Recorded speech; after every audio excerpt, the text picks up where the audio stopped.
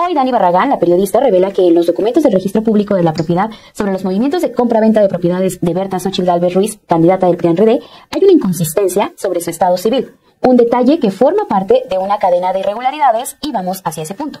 El 18 de enero del 2002, Xochitl Galvez compró un departamento ubicado en Monte Camerún, esto en las lomas de Chapultepec, en la Ciudad de México. En sus datos como compradora indicó que era casada y funcionaria pública. Pero, para 2021, casi 20 años después, porque estamos hablando que esta primera parte sucedió en el 2002, para 2021 salió el aviso preventivo que indicó el inicio de la adquisición de la Casa de Sierra Santa Rosa, conocida luego como la Casa Roja. Y para el 21 de mayo del 2021, fecha en que se concreta la adquisición, ella informó estar soltera. Incluso ese dato aparece de nuevo en el documento de la hipoteca. Actualmente, la pareja de la candidata del PRI, PAN y del PRD es Rubén Sánchez, con quien además comparte una de sus dos empresas, Operación y Mantenimiento de Edificios Inteligentes. De acuerdo con información que ella misma ha compartido, viven en sociedad de convivencia, que es un mecanismo legal que reconoce la unión de parejas que deciden no casarse. Pero los documentos oficiales dan más detalle de todo este entramado de irregularidades que se detectan en la investigación de Daniela Barragán. Vamos a ver el siguiente video y regresamos.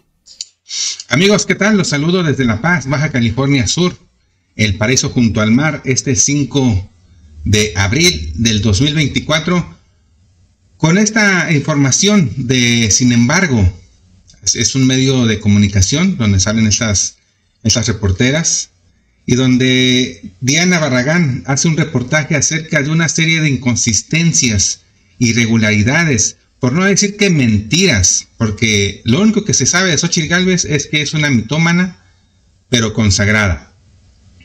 Donde quiera que le aplastes a la familia, ya no sé si son Vega Galvez, si son Sánchez Galvez o si son Llamas Galvez, porque en distintos documentos que ahorita les voy a mostrar a continuación, producto del trabajo de Sin embargo y de Diana Barragán, aparece a veces Ochi Galvez como soltera, a veces como casada, y no solamente eso, sino que su hija, su hija Daniela, tiene dos actas de nacimiento originales, legales, pudiéramos decir, tiene dos personalidades jurídicas.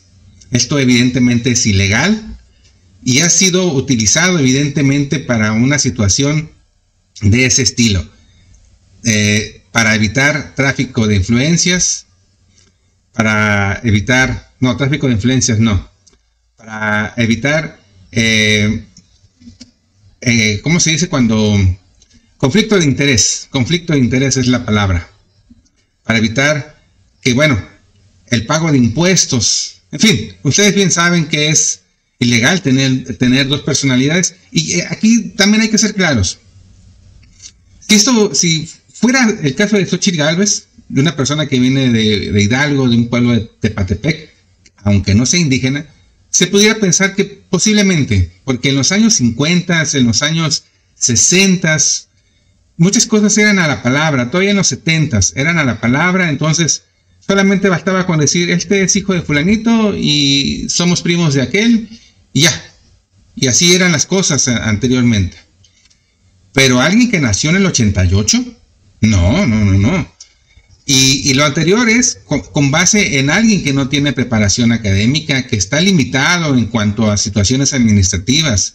Pero Xochitl Galvez que se, se llena la boca diciendo que, que es ingeniera, que tampoco lo es, ¿no? Ustedes lo saben, aquí lo pasamos, hizo una, memoria para titularse y al final salió que esa memoria, una mentira más, fue plagiada y ella misma lo confesó. Textualmente digo, y entre comillas, citándola, la pendejía, dijo. ¿Cuántas mentiras más podremos descubrir de, esta familia, de Xochitl Galvez y de sus hijos? Y otra vez, yo soy partidario de que la familia no debería de meterse a la política, pero fue Xochitl Galvez quien metió a sus dos hijos a la escena pública, a la escena política, cuando los hace coordinadores. A su hija de los Xochilovers, que también es una palabra de lovers que se plagió de los Unlovers del presidente Andrés Manuel López Obrador, y a su hijo, eh, que lo pone como coordinador de la juventud con Xochitl Galvez. Entonces ya ellos ya son políticos y por eso es que están al escrutinio no como los hijos del presidente Andrés Manuel López Obrador. Ellos sí no son políticos y otra vez no se les ha encontrado nada más que dichos. No hay ningún documento. Y les quiero decir a, a, Victorio Facho que me ve y que les agradezco enorme que lo hagan y que me opinan ahí en los comentarios, que son bienvenidos, por cierto. Me dicen, ¿por qué no pasan los videos de los hijos del presidente? Pues porque no hay. Porque no existen tales videos. Anda circulando un video bastante chafa que no lo voy a poner por respeto al muchacho que es menor de edad, del hijo menor del presidente Andrés Manuel López Obrador, donde se supone que está en una fiesta y que se supone que es alguien que está pues bajo los influjos del alcohol o de alguna otra este, sustancia estimulante y donde le dice a alguien, tráete unas amigas, ustedes lo, deben de haber visto ya, tráete unas amigas pero que sean de esas, o sea, de la vida alegre, ¿no? Y resulta que es falso el video, pues, ¿no? Es mentira, pues. Y, sale otro video por ahí de que es que Andy nos va a dar unos, unos tramos ahí para nosotros y que lo explotemos. Y ya, y por eso dicen que es el hijo del presidente. No, no, no. Un video real, un video como el que les presentamos del hijo de Xochitl Galvez, donde están haciendo negocios al amparo del poder, donde vean, haya documentos como los que les voy a mostrar ahorita, y ustedes lo pueden checar porque son documentos que son públicos. Cualquiera puede sacar una CURP, ocupas el nombre, el lugar de nacimiento, la fecha, te metes a, las páginas del gobierno federal y ahí bajas la CURP de, de las personas. Vas al registro público de la propiedad e igualito. Ahí puedes consultar las propiedades de todo el mundo con los puros nombres y apellidos.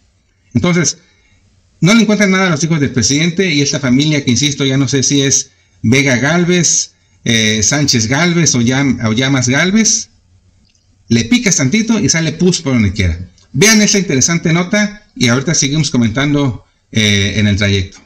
En las últimas horas se ha polemizado por la difusión en redes sociales de un video del hijo de Xochitl Gálvez, Juan Pablo Sánchez Gálvez. Fue captado profiriendo insultos clasistas contra empleados de un antro. Se vio forzado a renunciar al cargo que su madre le asignó en la campaña. Algunos, como el presidente López Obrador o la otra candidata Claudia Sheinbaum, opinaron que no se debe involucrar a las familias de los políticos en elecciones. Por el contrario, Xochitl plantea que todo familiar, incluso los que no tienen cargos públicos o políticos, como el caso de su hijo Sánchez Gálvez, es persona de interés público. Así respondió, por ejemplo, a las críticas que recibió por su viaje a Houston para una propiedad rentada por Caroline Adams, esposa de José Ramón López Beltrán, y su campaña se ha basado en acusar a los hijos del presidente de corrupción que ella no ha aprobado. Como dice la, la periodista, su campaña se basa en acusar sin ninguna prueba y machaca con los hijos del presidente por una casa rentada a nombre de la esposa del hijo mayor del presidente de José Ramón. Ni siquiera a nombre de él, pues. No, no, pero la casa, la casa roja de Xochitl Gálvez, esa sí está a nombre de ella. La Casa Blanca de Peña Nieto sí estaba, pues bueno, ya no se supo si estaba a nombre de, de la gaviota o de Peña Nieto, porque sale la gaviota y dice que ella se la compró y luego dice Peña Nieto que no, que la casa es de él. Pues se la estaban peleando, ¿no? Pero otra vez, se basa su campaña en mentiras. Y, no, y, y, y, estas salen a la luz, pues, porque hay muchos documentos, insisto, que son públicos y como a ella le gusta exhibir su vida personal, pues ya no se acuerda de lo que dijo o, cómo lo dijo, como cuando dice en una entrevista que, hacía 600 gelatinas, cuando ella tenía 10, 15 años, que en ese tiempo no había ni siquiera luz eléctrica en Tepatepec, en Hidalgo, y que evidentemente ella no tenía una mesa con, capacidad para colocar ahí 600 gelatinas. Y luego en, en, otra entrevista dice que lo máximo que llegué a hacer fueron 60. Pues claro, porque es mentira y se le olvida lo que ha dicho, ¿no? Vamos a seguir con el, con el video. Vez abre mucho su vida personal, política y empresarial. Hay tres libros biográficos o autobiográficos circulando ahora mismo y son enumerables las entrevistas en las que habla sobre ella misma. Sin embargo, no ha contado todo. Hay zonas opacas y casi cualquiera que intente armar el rompecabezas de su vida se encontrará piezas que no coinciden o, de plano, algunas extraviadas. No importaría si fuera cualquier persona, pero se trata de alguien que quiere dirigir los destinos de la República. Esta investigación se inició, como sucede siempre, con una duda menor. En sus operaciones recientes de compraventa de propiedades, se presenta a veces con un estado civil casada y en otras como soltera. Conforme se fue ahondando con datos abiertos y documentos de acceso público, empezaron a acumularse las inconsistencias que se plantean aquí en este reportaje. La periodista Caro y sus editores coincidieron en solicitar a la candidata Galvez que atajara las dudas con respuestas directas. Ayer, a propósito del video episodio del hijo, el ex canciller Jorge Castañeda escribió que se le recomendó a Xochitl que se pusiera en manos de un grupo especializado de abogados y expertos para que pasaran a la báscula a ella misma y a toda su familia y descubrieran sus flancos débiles, adelantándose a este tipo de golpes bajos y agrega, hasta donde yo me quedé no se atendieron las sugerencias. Y por lo hallado, con menos recursos, quizás Castañeda tiene razón los movimientos de compraventa de propiedades de Berta Xochitl Galvez Ruiz. Hay una inconsistencia sobre el estado civil de la candidata presidencial, lo que abre una gama de más inconsistencias. El 18 de enero de 2002, ella compró un departamento ubicado en Monte Camerún, ubicado en las lomas de Chapultepec, en la Ciudad de México. En sus datos como compradora, indicó que era casada y funcionaria pública. Para 2021, salió el aviso preventivo que indicó el inicio de la adquisición de la casa de Sierra Santa Rosa, conocida luego como la Casa Roja. Esta Casa Roja es una casa que adquirió beneficiándose siendo ella eh, jefa delegacional. Fíjense que estaba buena la tranza porque les daba el permiso cuando no cubrían los requisitos para ellos, les daba el permiso a las constructoras, pero con la condición de que le dieran a las empresas de Xochitl Galvez el trabajo de colocar eh, algunas, algunas eh, aires acondicionados y algunas situaciones electromecánicas en los edificios, de muchos millones, por supuesto, y entre esas tranzas le regalaron esta casa. Así, bueno, no se la regalaron. El caso es que la casa costaba como 15 millones de pesos y se le vendieron, hagan en cuenta, en 5. O sea, evidentemente, pues había ahí un tema de, conflicto de interés y nunca lo aclaró y por supuesto nunca, lo va a aclarar. Y como bien comentan aquí, el tema no es, el tema este es ilegal de entrada. Sea, sea ella o no sea ella, el asunto es que si me los encontraran a mí, pues yo ya estuviera ahí en, los separos, ¿no? Para empezar. Pero ella quiere ser presidente de México. Ese es el tema. Que alguien que no está bien clara su vida, si es soltera, si es casada, que su hija Daniela tiene dos apellidos con actas de nacimiento distintas, una en Hidalgo y otra en Ciudad de México, esa es, la situación de todas las veces que miente y miente y miente y vuelve a mentir y sigue mintiendo. Cuando tiene un hijo con evidentes problemas de alcoholismo y lo, y lo pone a la campaña para que dirija los jóvenes con Xochitl, esa es la situación. Imagínense esta gente con el poder que tiene un presidente, qué tranzas, qué business no harían. Para el 21 de mayo del 2021, fecha en que se concreta la adquisición, ella informó estar soltera. Incluso ese dato aparece de nuevo en el documento de la hipoteca. Actualmente, la pareja de la candidata del PRI, PAN y PRD es Rubén Sánchez, con quien además comparte una de sus dos empresas, Operación y Mantenimiento de Edificios Inteligentes, OMEI. De acuerdo con información que ella misma ha compartido, viven en una sociedad de convivencia, que es un mecanismo legal que reconoce la unión de parejas que deciden no casarse. Pero los documentos oficiales dan más detalles. Aquí viene precisamente el dato de las dos actas de, nacimiento de su, hijo, de su hija Daniela. ¿eh? Fíjense nada más, qué interesante. Chil el 8 de agosto de 1987, contrajo matrimonio con Luis Ernesto Vega Chacón, de 33 años. Ella tenía 24. En la biografía Xochitl de vender gelatinas a buscar la presidencia de México, escrita por Scarlett Lindero, se señala que a esa edad ella comenzó a compartir la vida con un hombre y que ese hombre era Rubén Sánchez. En otra biografía llamada Chingona, una mexicana contra el autoritarismo, escrita por Ivonne Melgar, publicada de después del texto del Lindero, cuenta que en 1987 conoció al papá de su hija y estuvo con él ante una presión de su familia para que ella contrajera matrimonio. Y cuenta lo siguiente, conozco al papá de mi hija, me caso con él y pues él se va cuando estoy con seis meses de embarazo y me quedo sola. Después relata que el hombre intentó buscarlas a ambas, pero que para ella no existe y cree que para Diana existe poco. Sin embargo, el relato no es exacto. Diana, que nació el 23 de enero de 1988, fue registrada el 15 de marzo de ese año por sus dos padres, Vega Chacón y Galvez Ruiz. Ambos firmaron el documento en el registro civil de Tepatepec, Hidalgo. Pero esa acta no es la única. En un registro civil del entonces Distrito Federal, 100 días después del primer registro, fue registrada Diana Llamas Galvez, nacida el 23 de enero de 1988. Fue registrada por sus padres Francisco Llamas de la Fuente y Berta Xochitl Galvez Ruiz, el de 29 años. Aquí nada más para cortar, y no es un poco enredoso, ¿no? El tema. Primero es registrada la muchacha como hija de eh, Luis Ernesto Vega y después es registrada como hija de Francisco Llamas. ¿Sí? El primero en Hidalgo y el segundo en Ciudad de México, 100 días después. Tiene un papá biológico y tiene dos papás legales. O a lo mejor, tres, o a lo mejor tres con la actual pareja de Xochitl Galvez, que se llama Rubén.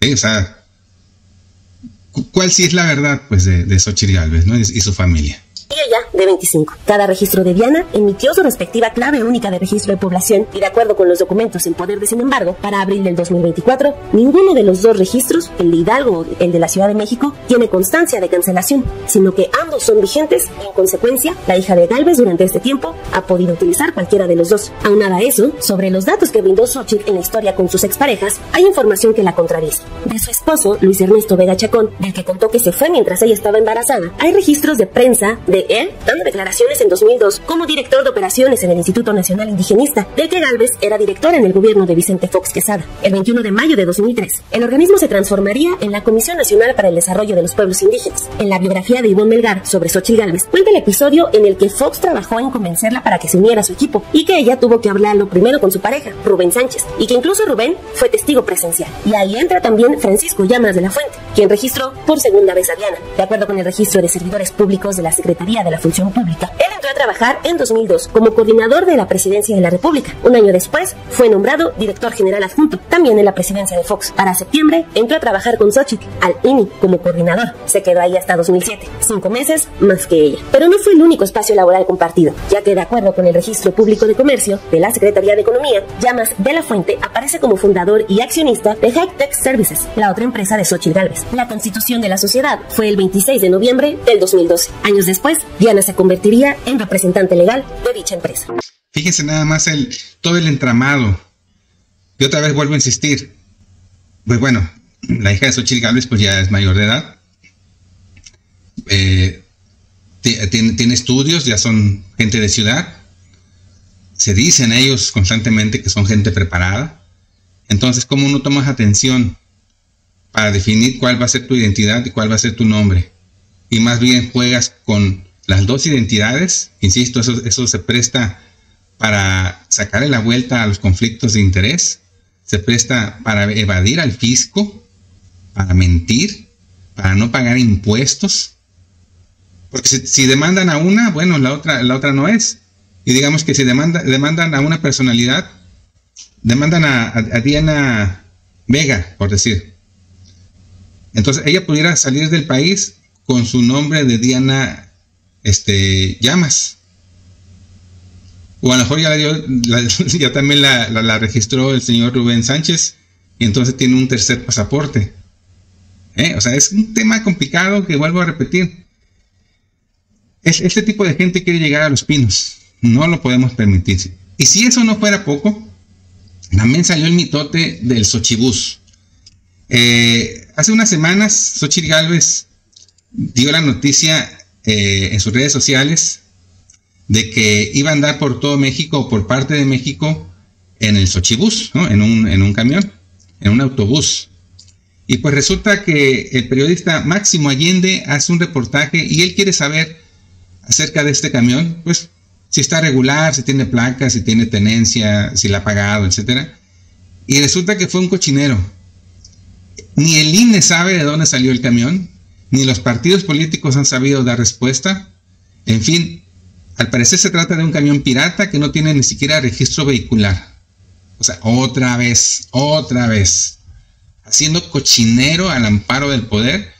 Pero ojalá que ahora sí se haga algo, pues, que le retiren la candidatura, que le quiten los registros al partido, que haya un, un tema, un escarmiento ejemplar para estas situaciones, porque ya basta, pues, ya basta. Y si fuera Claudia Sheinbaum, también, y si fuera el, partido que fuera también, y les vuelvo a repetir a los amigos fachos que me ven, si ustedes tienen documentos, si tienen videos que yo no haya visto, que involucren, así como el video del hijo de Xochitl así, así de clarito, no, no, no las churradas como lo que le están inventando al hijo menor del presidente, que los involucre con temas de tráfico de influencias, con negocios, con negocios al amparo del poder, con situaciones complicadas, mándelo, aquí lo vamos a pasar, por supuesto que lo vamos a pasar, porque no, no podemos permitir esta corrupción de ningún lado.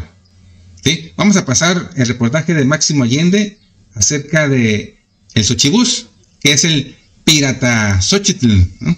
Siendo el INE, quien nos confirma que hay un esfuerzo por parte del equipo de campaña de Xochitl Galvez por ocultar el origen y el costo del Xochibus. Esto es así porque el pasado 27 de marzo el instituto, ese que dicen que no se toca exceptuando su logo, me respondió que la información requerida era inexistente, toda vez que la Dirección de Auditoría del de Partidos Políticos, Agrupaciones Políticas y otras de la Unidad Técnica de Fiscalización no encontró en los registros contables de la candidata Berta Xochitl los gastos erogados por concepto, por concepto del Xochibus. Y aquí permítanme especular, pues al corroborar la placa del Xochibus me encontré que no está inscrito en el registro público vehicular, es decir, el Xochibus es pirata o peor aún circula con una placa falsa. Y hay que destacar que desde el 2008 la ley del registro público vehicular obliga a todos los fabricantes a dar de alta los vehículos que comercializan en México, es decir, no hay forma de que este autobús no esté inscrito en este registro. Y por ello es prudente inferir que si bien o se está viajando a bordo de un autobús pirata o se trata de una placa falsa la que le habrían puesto al Xochibus de Xochitl